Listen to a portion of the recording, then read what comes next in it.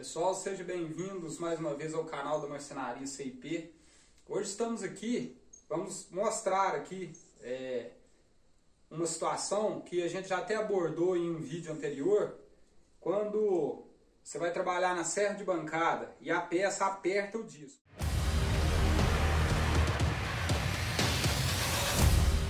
Então hoje a gente está passando por essa situação aqui já pela segunda vez, então a gente vai aproveitar a oportunidade e está mostrando. Vocês podem ver que uma peça maior, né? Como eu citei no vídeo anterior lá, estamos cortando jequitibá. Jequitibá acontece com frequência isso daqui. Podem ver que lá, eu parei a serra lá naquele ponto lá. Aqui, o corte já fechou, tá vendo? Tá todo fechado. Aqui também já começou a agarrar. Podem ver que aqui eu tive uma certa dificuldade. E eu parei lá, parei lá, a gente vai estar tá mostrando, vocês podem ver que está trancado. Aí, ó. A peça não mexe, não, não, a gente não consegue cortar nessa situação. Então eu parei aqui, vou aproveitar para gravar na real aqui rapidinho, mostrar para vocês como proceder com segurança numa situação dessa. Como eu já havia mostrado, que ó, no improviso, tá vendo? Sempre tem uma cunha aqui na, na minha serra para a gente resolver essa situação que, que acontece? Chegou numa situação dessa, parou, não, não vai mais, não tem como e é perigoso, porque você pode queimar o disco, pode causar até um acidente. Então, é, quando você já está com a cunha em mãos, não precisa nem parar o corte, você desligar a máquina, você simplesmente para e coloca a cunha aqui mais próximo aqui do disco. Dependendo da situação, uma peça comprida como essa, o ideal seria até duas cunhas, tá pessoal? Então o que acontece? A gente vai colocar a cunha aqui depois do, do facão da serra, né? É, a gente vai colocar a cunha ela vai fazer essa situação aqui, ó. Vai abrir né, a, a, o corte aqui, vai destrancar aqui e a gente vai continuar cortando com segurança. Beleza, pessoal? Então, vou demonstrar, vou, vou passar para lá e vou demonstrar de lá como que como proceder nessa situação. Vou pegar até mais uma cunha. É, fica a dica aí, pra você ter sempre aí na sua serra de bancada, beleza? Bom, pessoal, então já tô do outro lado aqui. Olha só. Ele apertou tanto aqui que a serra não vai. Ó. Muito difícil. Então, acontecendo essa situação aí com você aí, ó.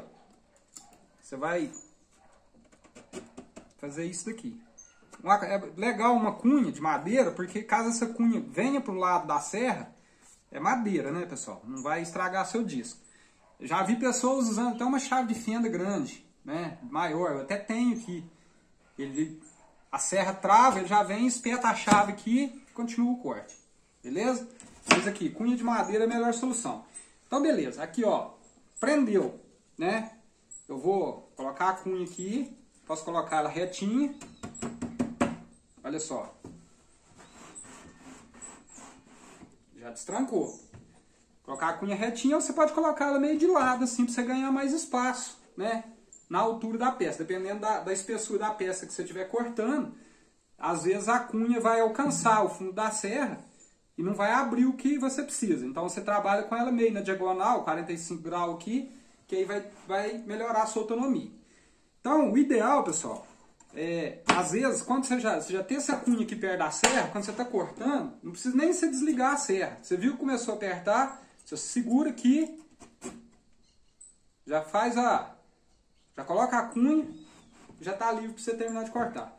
Ok? A gente vai terminar de fazer esse corte aqui e mostrar para vocês que funciona bacana. Tranquilo?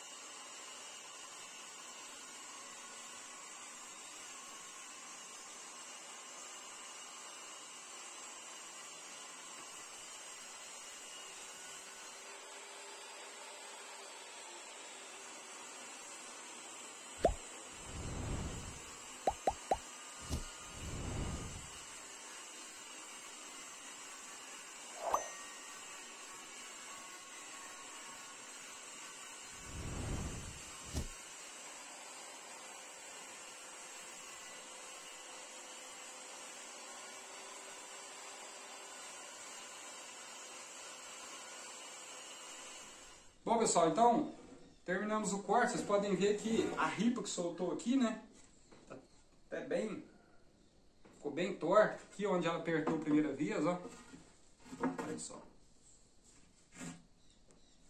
Então, eu não tava aqui. Na hora eu achei que dava. Aliás, eu não tava. Na hora eu achei que dava para terminar o corte sem, sem ter que colocar a cunha, mas não deu. Então, colocou a cunha e resolveu o problema. É, Jequitibá, né? Jequitibá, sucupira, eucalipto também faz isso, muito, eucalipto muito, muito. Então, se for cortar essas madeiras, já deixa lá perto da sua serra que é uma boa. Beleza? Pessoal, quem gostou aí da dica, deixa o like pra nós aí, se inscreva no canal, dúvida deixa no comentário aí pra gente. Um abraço.